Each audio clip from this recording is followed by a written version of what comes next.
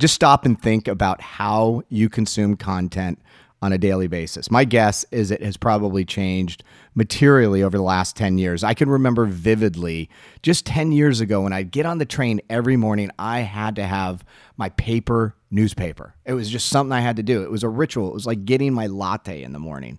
But today, when I think about how I consume content, and it's almost subconscious, I go to my phone. It is the portal into all the different news sources, things like the New York Times the Wall Street Journal. I use news aggregators. It's actually one of my favorite things. Things like Flipboard or the new Apple News, which is fantastic. I also use Twitter. I spend a lot of time flipping through Twitter and finding some amazing stories that I would never would find otherwise.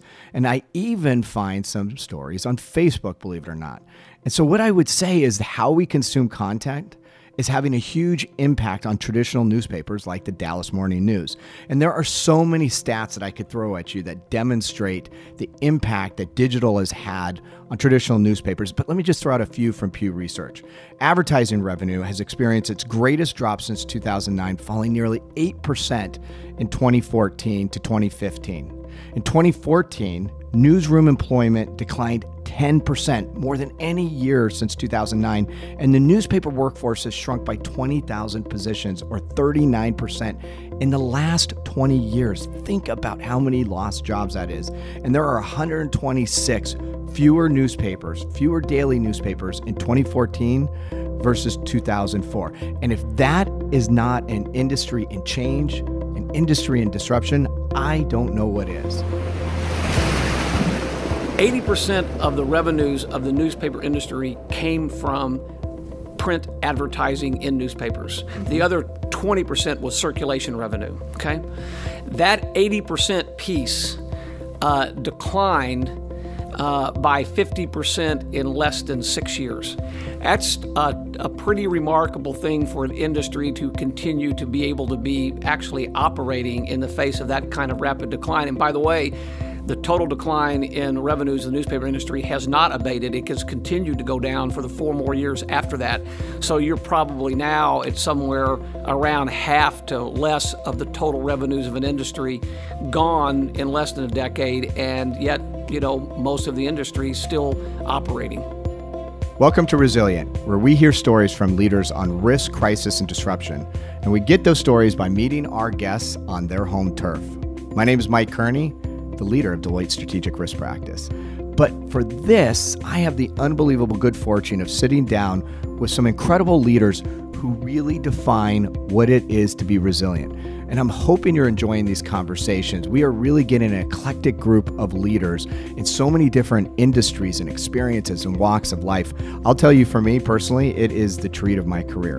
And today, I'm at the historic Dallas Morning News Building downtown Dallas, Texas.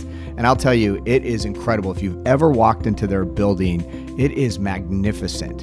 In the lobby, you see all of these posters of their Pulitzer winning articles. And today I'm talking with Jim Moroney, the CEO of A.H. Belo, the owner of the Dallas Morning News. And Jim has been at A.H. Belo and the Dallas Morning News for the last 15 years. So to say that he has been in the thick of change within publishing is a big understatement. And I'm really looking forward to talking to a leader who has gone through all of this disruptive change over the last 15 years, and he still is at the same organization, leading it, transforming the business through this change.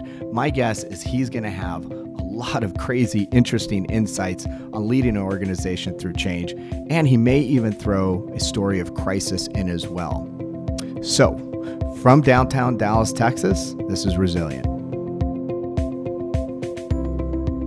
So, you know what, Jim? I always like starting these conversations out with a fun fact. And one of the things that I had read and doing my research was that you were publisher of the year in 2003.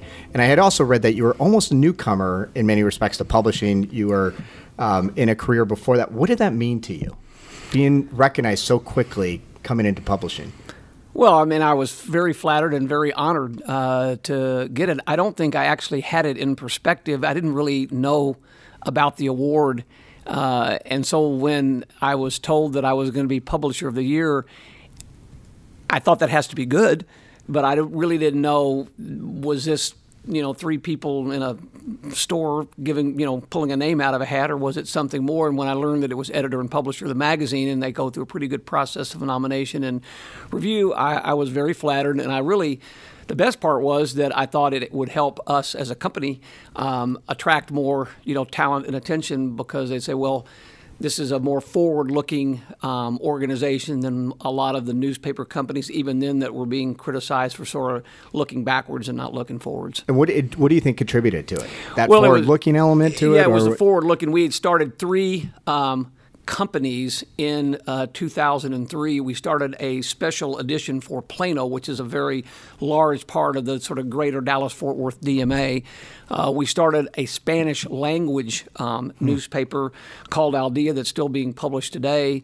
And we started another company whose name I'm not recalling at the moment, but that that's really what it was. That that that was unfortunately unusual that uh, a newspaper company uh, would have three brand new sort of startup uh, publications uh, all in, in one year, and I think that's why I got chosen. That's kind of in your DNA. We're going to talk a lot about your entrepreneurial style.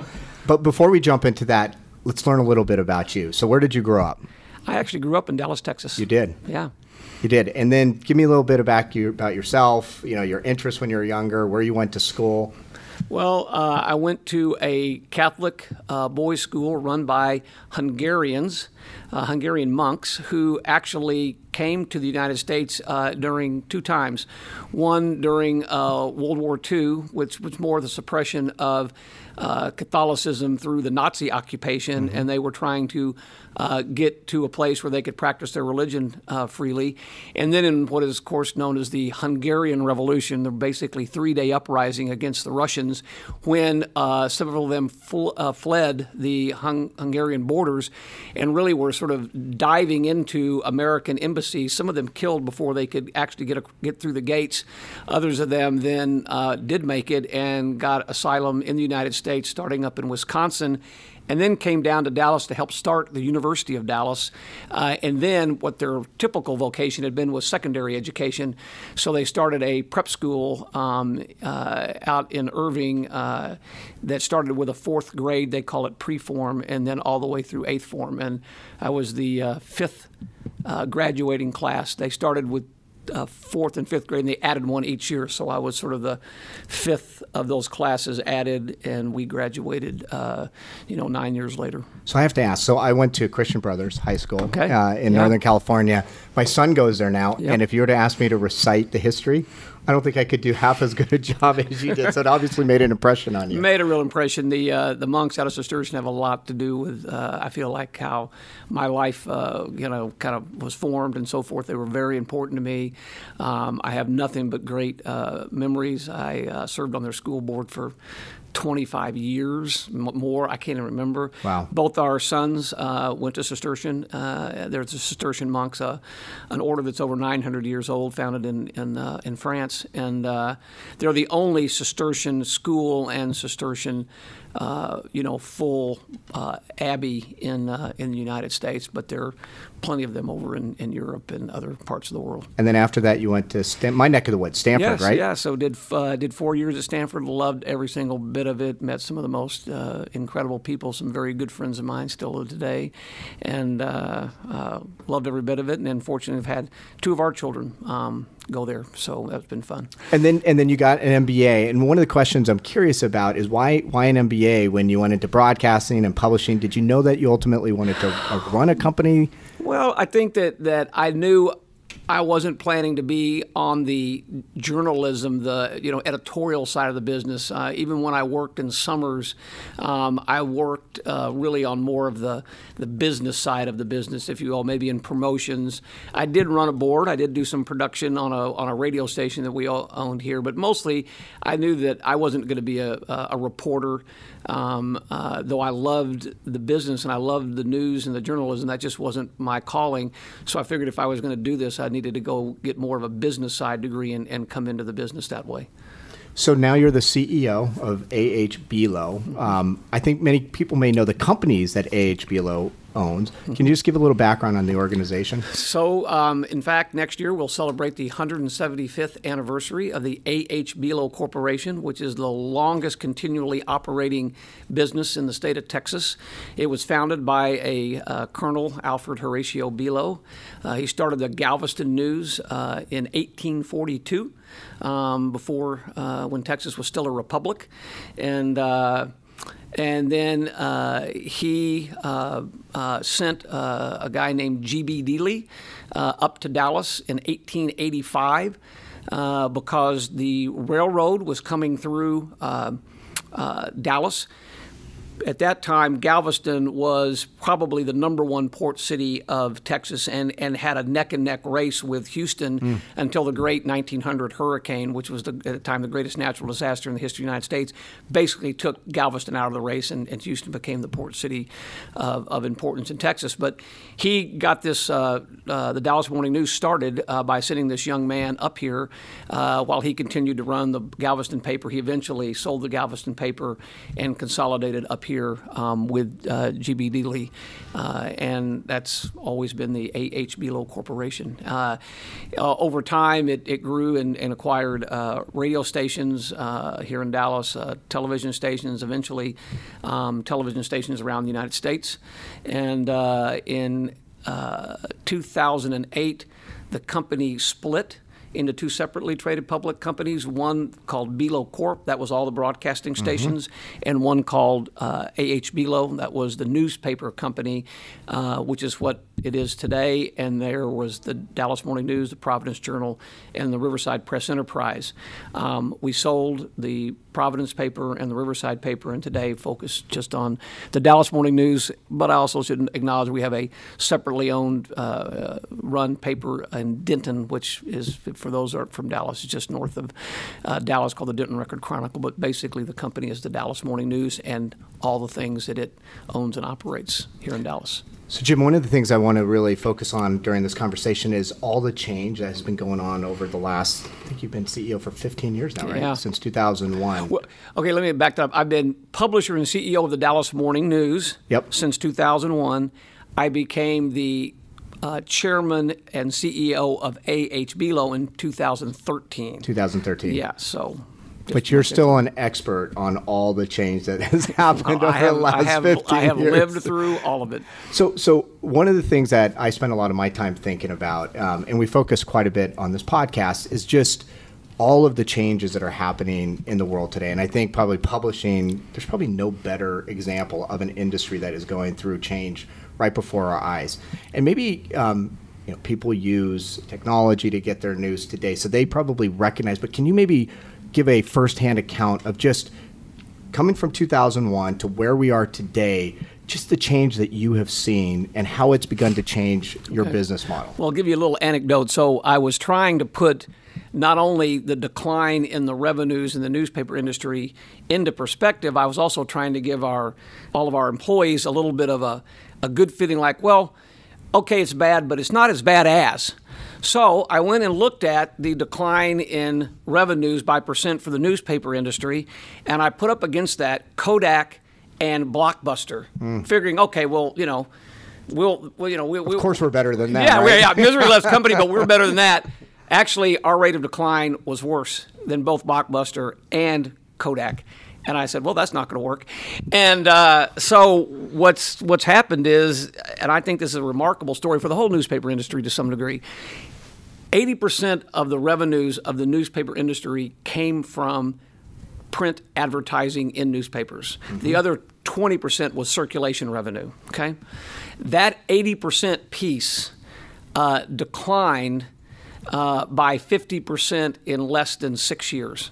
So if you do the math, that meant, you know, 40% of your total revenue just went away. Eviscerated. In, yeah. in, inside of six years.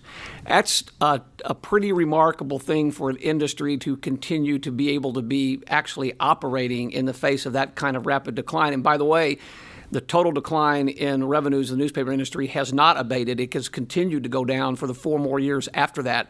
So you're probably now at somewhere around half to less of the total revenues of an industry gone in less than a decade, and yet you know most of the industry is still operating.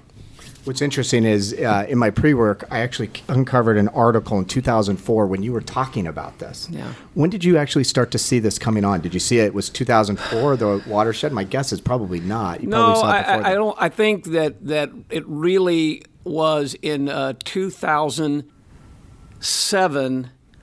We were down over 2006, and from my days in, in over-the-air broadcast television, you might have a down year, but then you just said, "Oh, great, easy comps, right?" We'll come. It'll come back. Yeah, yeah, We're, it's going to yeah. come back the next year, and it's going to come back big because we were even slightly down, right? Well, 07 was down, and I think actually down a little bit over 06.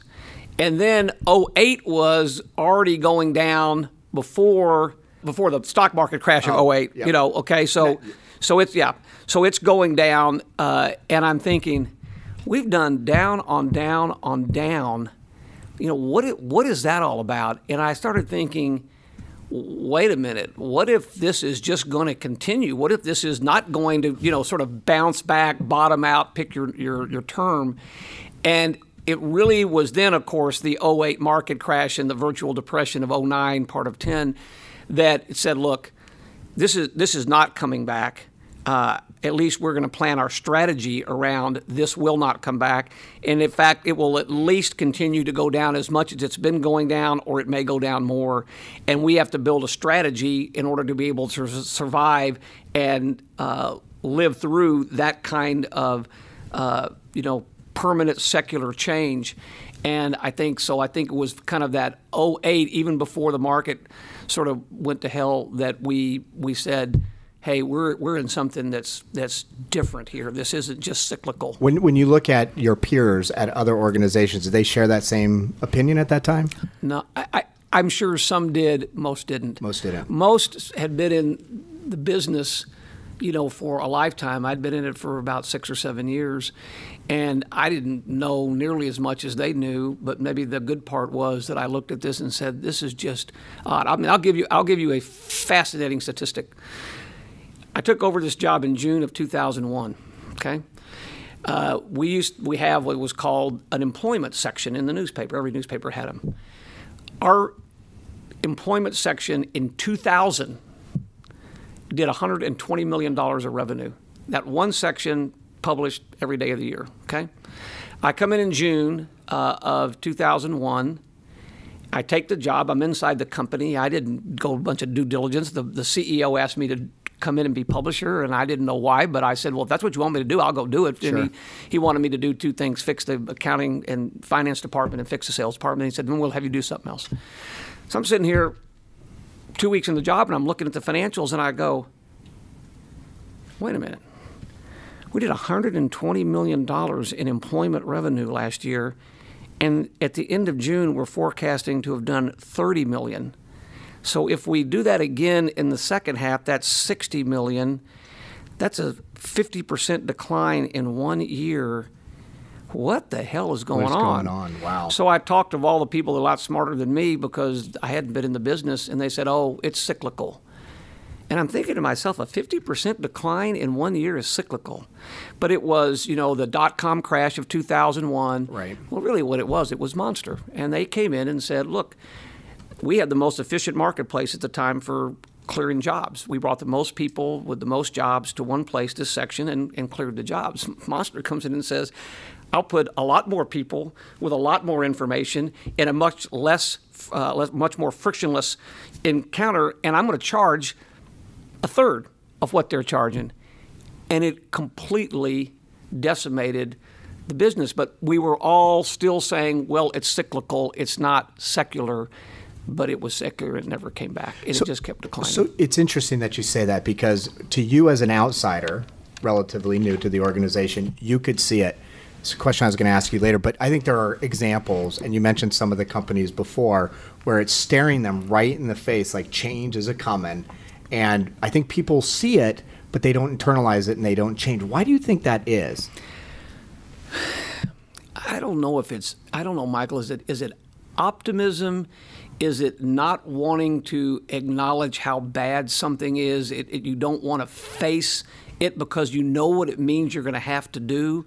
Uh, Is it because you've lived through some declines before that have turned around and come back?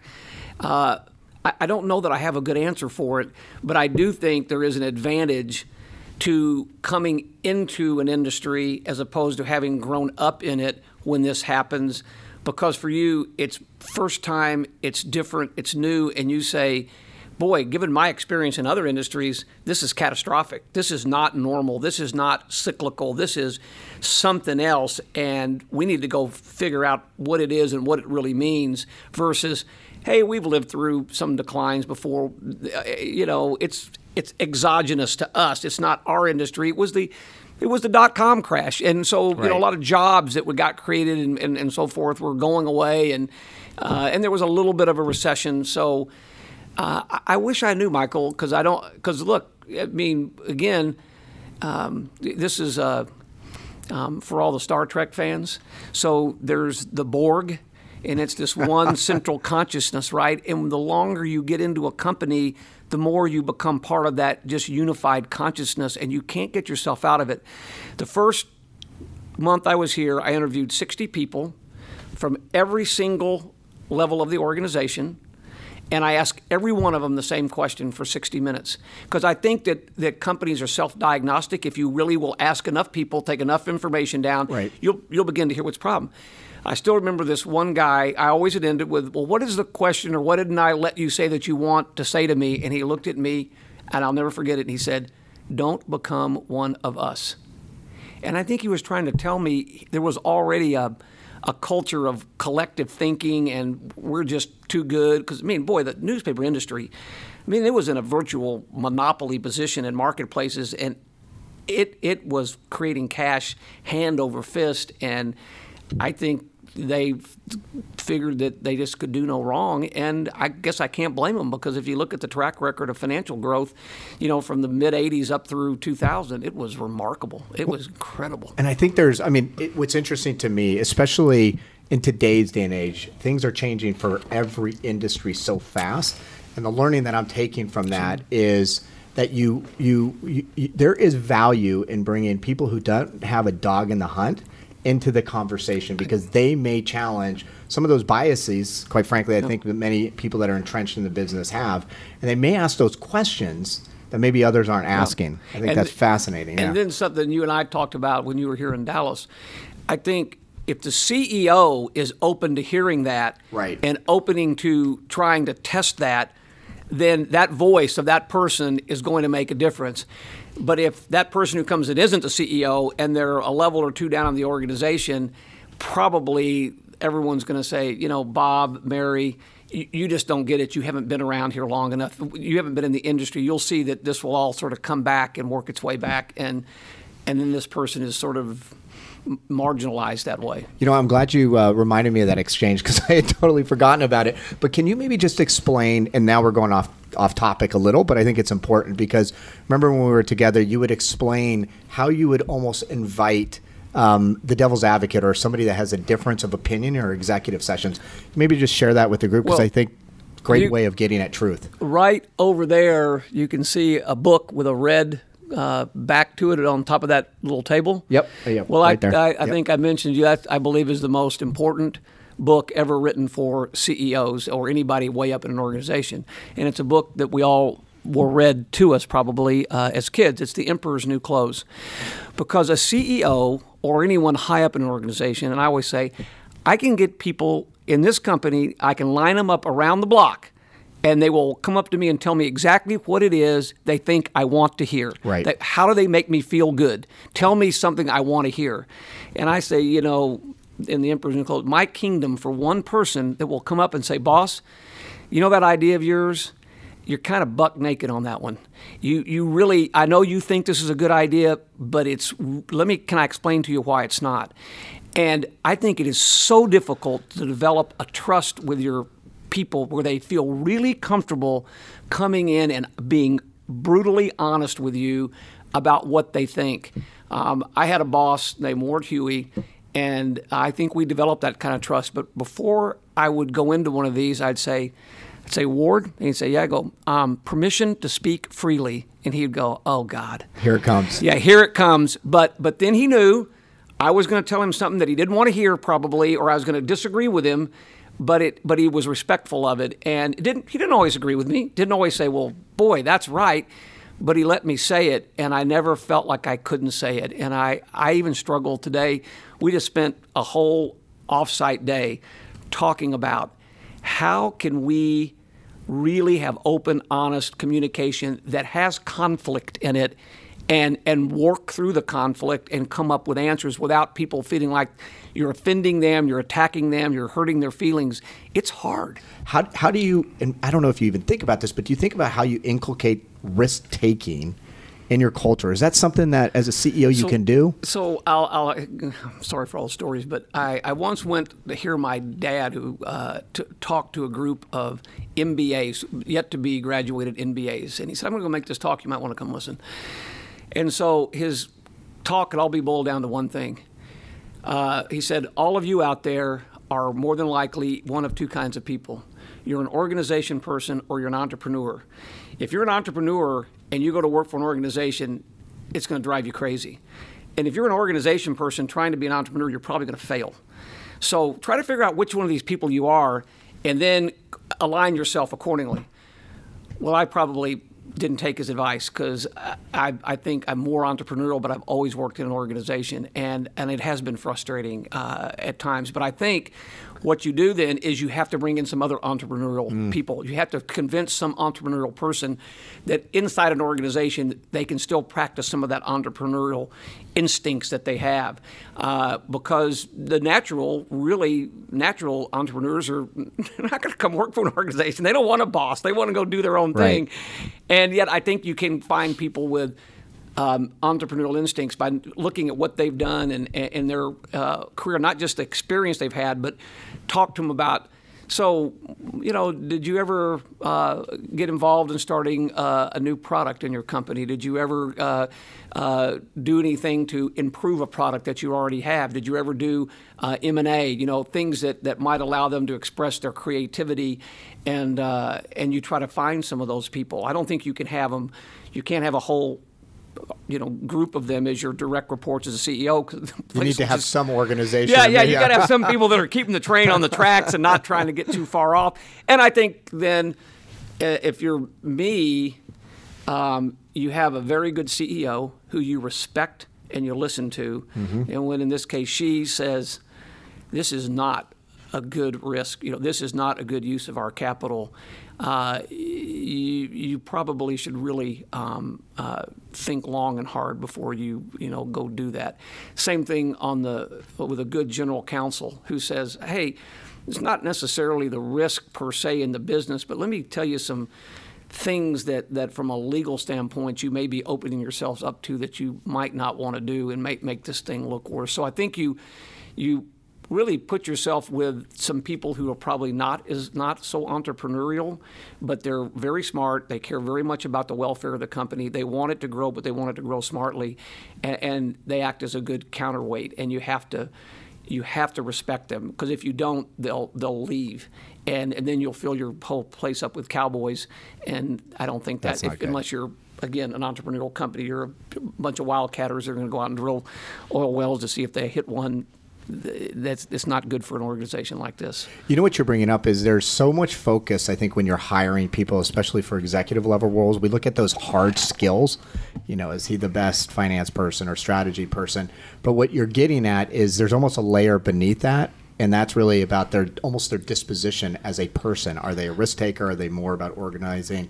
Are they an integrator? Whatever it may be, but it's almost in some respects as important to look at those underlying kind of traits of who they are. I hear you saying as their hard skills Yeah, that make Uh, them My first question when I hire anybody at this level is, from the outside, I go, "Why do you want to come work for the newspaper industry? Are you crazy? Do you know how how bad things are? Do you know how hard this is?" So what? They, they're like, what? No, no, they look at me, and, I, and, and then the answer I get from the ones that I'm interested in hiring is, you know what? I know how bad it is, and I like fixing things. I like being the one that overcame a challenge. That Right. doesn't mean they're necessarily entrepreneurial, entrepreneurial, but they they don't want to come be a run manager. They want to be a change manager. They Right. want they want to participate and they want to say, "Hey, I took the I took the the team that finished at the bottom of the league and took them to the top." Instead of as opposed to, "Well, hey, I came in, they were already at the top. I got to celebrate being at the top."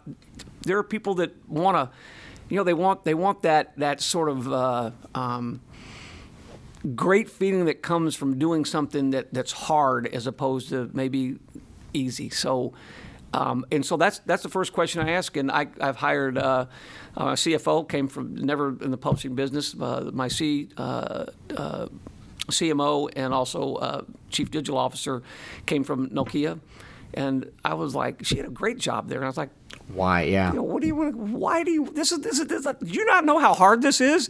Do you know how many people probably rather not be in this industry? You know, what I mean, like like God, if they could get out, they'd go out. But they, they said, "No, I know, I know what I'm in. I know what I'm in for." And I go, "Okay." And You know what it is? is? on. We did um, we did research, and I've mentioned this on the podcast before, but it's it's probably one of the, my favorite projects I've ever been involved with. We had a, a simple question uh, that we asked where we said, "How do you make good projects great?" And so we went out and we studied some of the most iconic projects ever. So, you know, the iPhone, Yeah. um, Jon Landau, and uh, not the Titanic. What was Avatar? Avatar. Uh, the uh, the folks that uh, revolutionized NASCAR pit crews, like all these crazy different projects, and the only thing that cut across all of them was just one thing: What? cause, purpose. Cost, purpose. And so I think what you're tapping into it's it's you're finding people that have a greater cause. It's not just about earning a paycheck; it's about making an impact by turning this around. Yeah, and you know, I'll say this, and I can't tell you that each of them s- said this at the time, but one of the great uh, privileges of running a news organization is that you uh, can make a real difference in the life of the community you live in, and that begins to seep into the, the sort of the soul of people here. The news people come at it. That's the reason they're doing what they're doing. Right. But then a, a, a Katy Murray, my CFO, begins to say, "Wow, I, I'm I'm doing something more than making widgets and maybe making really good widgets." And so when a shooting happens here, like on July the seventh, and five police officers are shot and killed, we're the ones explaining to the city what's happening and then eventually how it happened and finally why it happened and what does it mean going forward. And you all have a sense of sharing and helping to bring sort of order to chaos in people's mind and in the in the city bringing it together convening it to sort of go through the catharsis of getting rid of this uh, sort of terrible tragedy. And people people really appreciate that but that's often more once they're here unless it's a news person and that's why they come here Right. That's why they stay. Yeah. So so I'm going to this quote based on what you just said. You said, and this is a quote. Hopefully I got it right. As an industry, we got barrels of whoop ass left. Did you say that? Yeah, I uh, I was I love that quote. By the way, I had to use it. I was.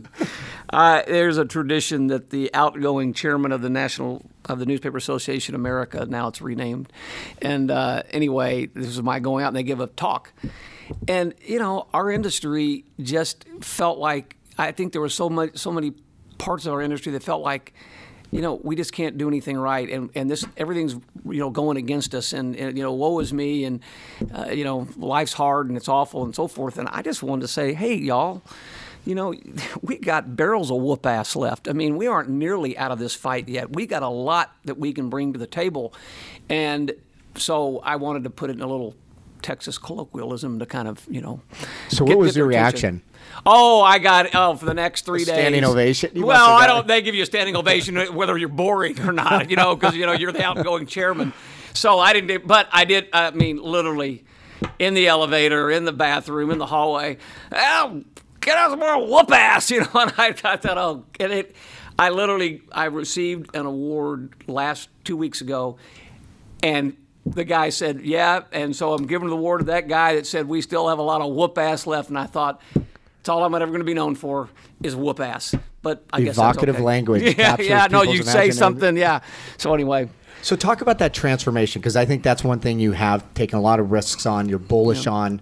You know, it's it's it goes back to that quote. Why are you so bullish on on you know the future of publishing? What are you doing as an organization? And I, one of the things I read too. I'm sorry, I'm throwing so many things at you, but I also read um, that that you're not even sure where it's going to end up, which I think is fascinating. Meaning, what's the end game? But you're riding the wave. Yeah. So, well, I mean, we've been riding the wave into the beach here for about a decade, all Right. of us, you know. Uh, but we, look, we made it through, in, in three years, our advertising revenues were down 7%, 17%, and 25%. I mean, just try that on for a moment.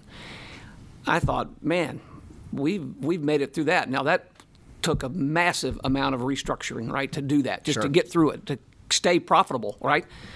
But I said, if we can get through that, what is it that we can't get through? I mean, uh, we just literally, if you, I know you don't add percentages, but you're talking about 40% of your your biggest revenue bucket going away in in in three years. I mean, most people are, you know, people, the flag's up, surrender, we're out of business, we're upside down. So I just said, if we can do that, we can, you know, we can do almost anything. And, uh, and so I said, you know, y'all, we're, our number one assumption, it's going to continue to go down. Now, what are we going to do about it? Because everything we do has to be about raising new and incremental revenues. That's that. Don't talk to me about anything else. New and incremental revenues.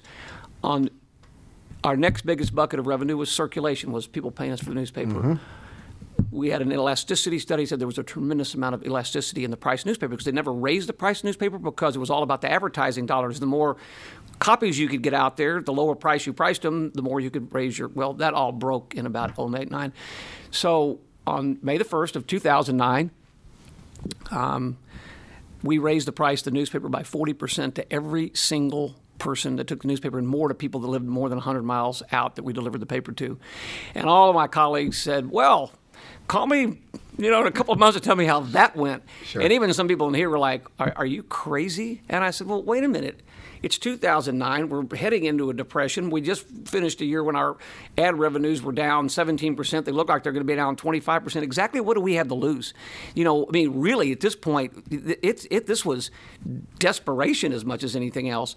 And yet, yet we had data.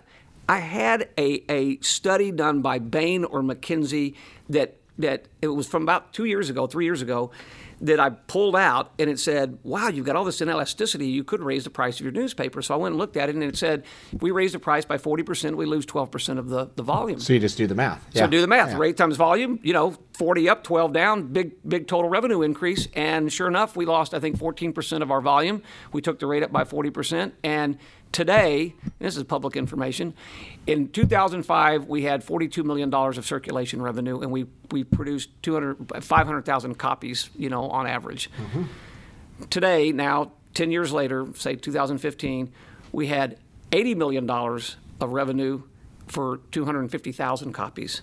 Twice the revenue, half the copies. Do not only the math on the revenue increase, but on the expense decrease of making the same, am- uh, twice as much money for half amount of like. It's like saying I raised the price of Coke by two times, and I'm selling half. I mean, I, I raised it by 40 percent. I'm selling half the product, and I'm making twice as much money. That was that turned out to be you know a good bet, but it was a there wasn't anybody else in the industry interested in doing it until we went on the road and said, "Here are the results." And I was trying to talk to the industry, saying, "This is a this is something you can This do. This is a simple it- it- strategy Simple that strategy works, that, yep. that works, and you all have it because you none of us raised the price for our newspaper. And we did a conjoint study. We traded off, you know, what it would it take for you to what price would you quit reading your newspaper? You'd cancel it. At that time, we were charging um, eighteen dollars a month we had people in the study, uh, you know, like 2,000 subscribers, you know, we had people still left in at $100 a month. Five times what they would have been paying at that time, saying, I still won't give up the paper. And I thought, oh my God, you know, these people are going to die with this newspaper in their cold, dead hand. I mean, they're, just, they're not going to give it up for anything, so we can raise the price. And we did. So talk about the the transformation into digital and, and where your mind's at with that right now. Yeah, well, I, I was fortunate to get the opportunity to start um, uh, a, a digital company for our company in 1998 called Belo Interactive, and we took all of our newspapers and all of our TV stations and we put them online and we controlled the operations online. Now, the Dallas Morning News already had a, a, somewhat, for that time, active website, but most of the TV stations, for instance, they had PDFs of their anchor people up. That's what you went to WFAA.com, you got a PDF. Right. So we were able to really start, you know, learning about, you know, putting things out on the web and how people would interact with them and what made a difference and so forth. So it gave me a little bit of a of a learning curve that was pretty steep um, that way. So flash forward to today, um, you know, three or four things. Uh, Facebook rules the world. They have the most data, uh, and they get the best results uh, for advertisers because they have such incredible data that you know when you're looking for the red-headed left-handed golfer who likes to play only in Florida and California eh, in the warm months, they know who those people are because they've got that data and they right. can pinpoint, they can make your advertise work. Now we use Facebook for our customers to get them results too, but I'm just saying. And then today, um, I bet you most of your uh, media companies um, that are aggressive are getting uh, 20 to 30 percent of their traffic through what's called the side door through social and uh, and particularly through Facebook. So Facebook could be contributing as much as 30 percent of your audience is coming through Facebook, through Facebook, to you, you know, linking back to your site through Facebook.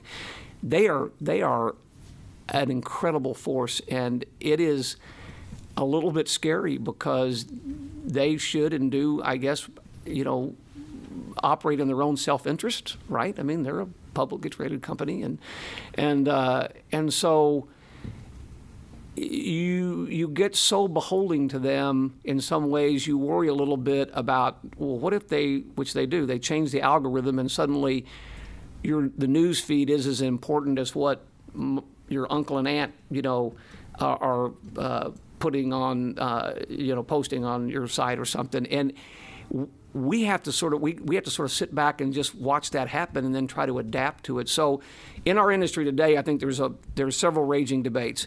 One is how far do you go in making yourself uh, sort of beholden to the platforms, the, the, the Googles, the Snapchats, the Instagrams, the Facebooks. How much do you get in, in bed with them and, and become dependent upon them? You can see the Washington Post for instant articles on Facebook went all in, put everything on there. Everything out there. there. Yep. New York Times said, we'll put in 10, 12, 14 articles a day. We're going to sort of walk before we run on this. So that's one debate, and we're still debating it here. I'm, I'm concerned about it. We are experimenting with it, but we did not go all in. Uh, the next thing, of course, it's all mobile. I mean, the the desktop traffic uh, hasn't just gone down as mobile's gone up, but mobile has surpassed it. Uh, for most most websites, you're going to be doing uh, more than 50% of your traffic that you know maybe five years ago was 80% desktop. And the desktop, I think, will begin to fall back even further in terms of at least percent because it's all going to go mobile. So you've got to be, you know, doing what you have to do mobile. I think that the Washington Post is proving that how fast you load is incredibly important, and they just keep seeming they keep trying to get faster and faster to where you know they're below a second you know in load time. I don't know how much how much, how much lower, faster you can go. How much yeah. faster you can go, but I think that's it. And I and and then maybe the biggest thing and the most important thing is people used to come to us, you know, or we put their, the news on their doorstep, but they or their driveway, and, and, and we took that to them. But we, we gave them one package a day, what, what we thought they should read, and we delivered it to them when they when we wanted to deliver it to them, and they just had to accept that. Today, they want the news to come to them. They want the news to be personalized for them. They don't want just what everybody else gets. Uh, they want it on their phone at noon. They want it on their uh, tablet at uh, at nine o'clock at night. Uh, they want it to all form fit, you know, that particular. Some of them want to get more of their stuff through Twitter. Some of them want to get it through Facebook. You really have to go where the consumer is and give them the right content through the right channels at the right time and there are so many channels, so many platforms.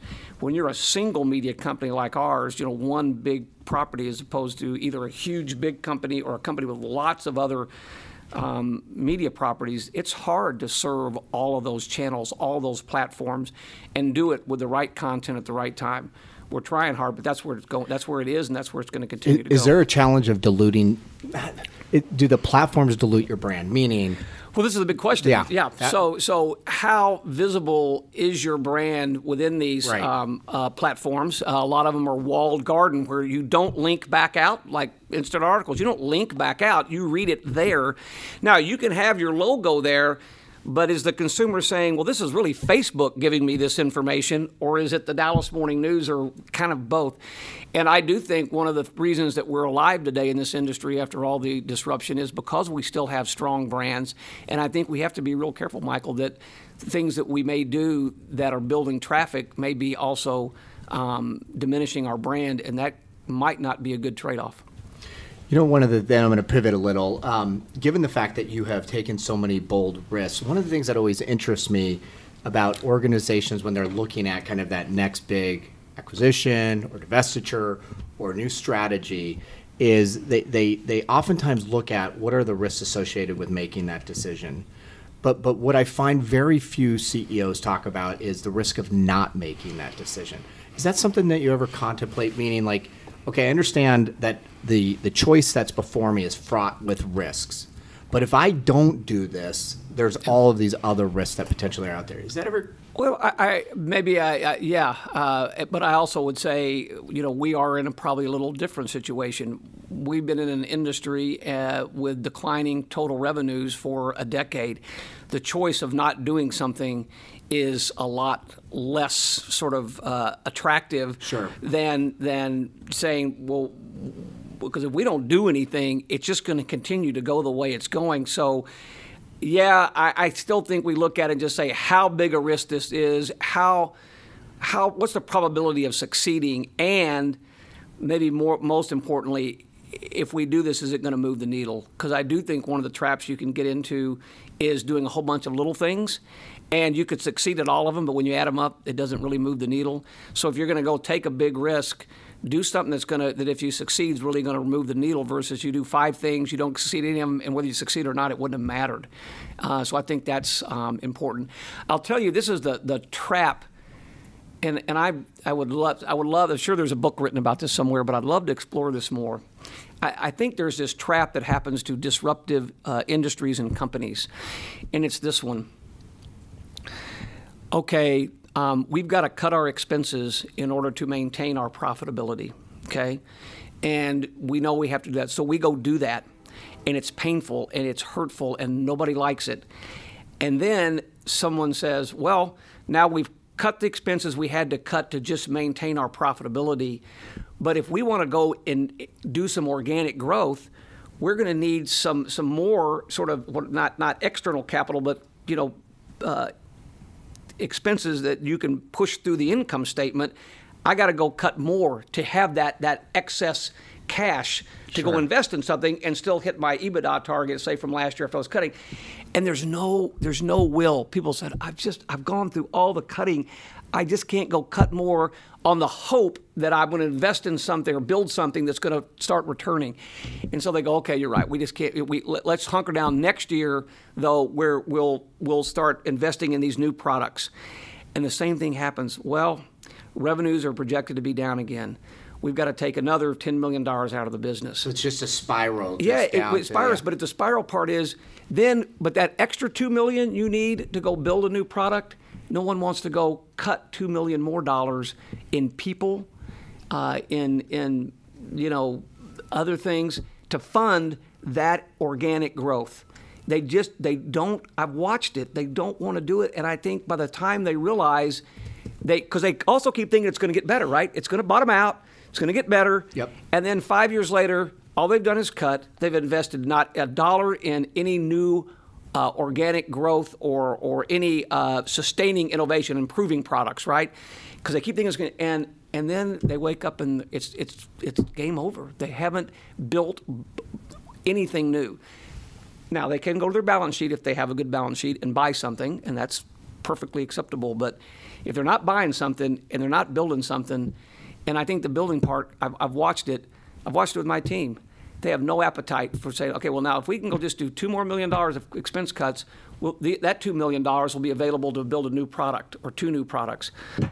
Jim, we, we've already we're taking out X number of people. We're, we're, we- we've taken out this and that. We've cut our T and E budget. We've cut all this stuff. I don't have two more million dollars I can cut.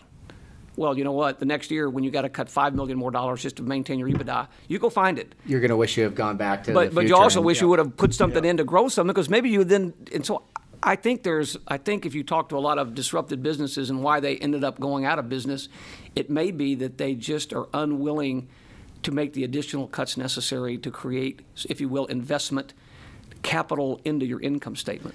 So last time we were together, um, you shared an unbelievable story. Um, it was about um, circulation and advertising revenue, and another newspaper uh, indicated or was found out that they were um, overcharging Yeah. Uh, for advertisements.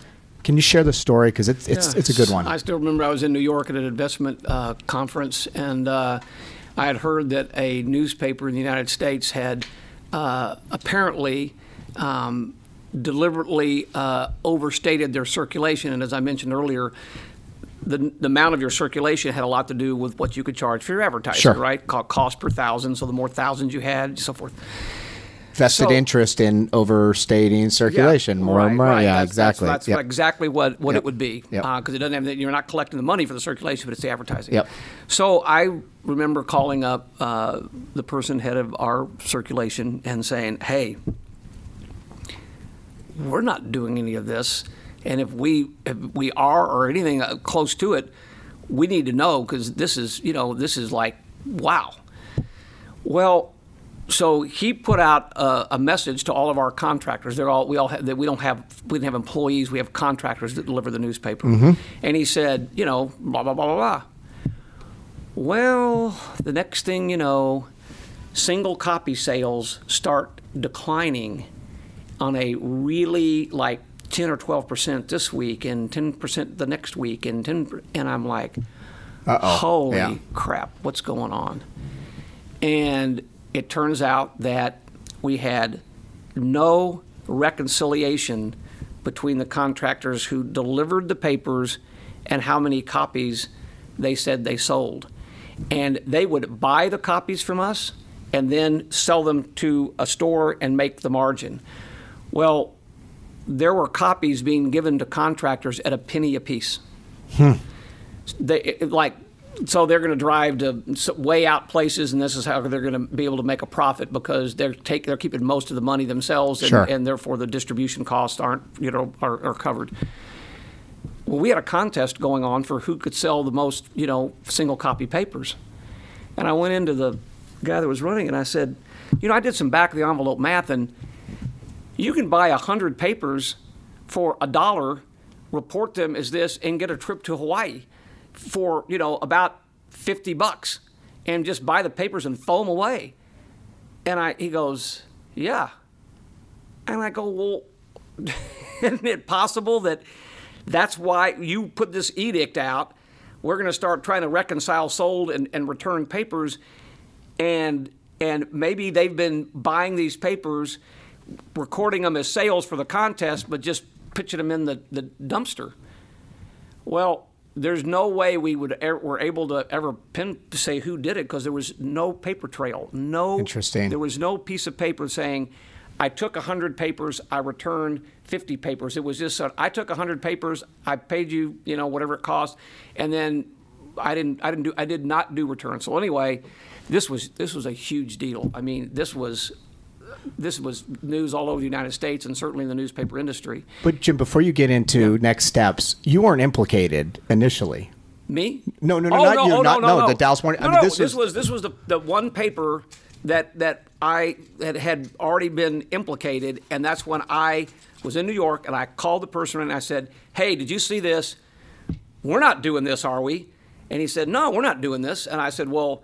We better be damn certain. And you better get all these guys together, and you better tell them that if anybody is caught doing this, it, it's into their job and into everything else. The, the reason why I just wanted to point that out is um, this was not a crisis. This was a crisis maybe in the industry, but you had not been implicated. Yet you were proactive in starting to try to understand Yes. whether or not this was but an it issue. only been one paper so far at that It wasn't time. even an industry issue, Yeah, then it was just one. industry. And, and uh, so then um, we had to start dealing with the fallout. And I think the thing that we did that was so um, smart, and it, I'm not taking credit for it, the CEO at the time, I think really led the charge on this of our whole company, our chairman of our board, said, look, we're going to calculate what our advertisers would have paid us over about a six month period of time. You know, we, we did, or a year, I think we did one year.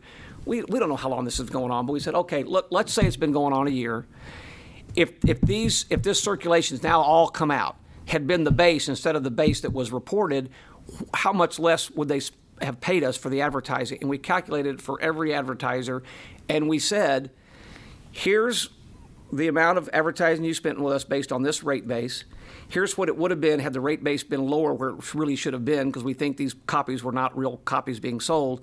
Here's the difference, and here's a check. And by the way, you don't have to sign anything saying you still can't sue us. And I think that that last part, not only giving them the, the check with no no strings, strings attached, yep. They, if they said not enough, sue us. They said that's great, that's enough, but I'm still going to sue you.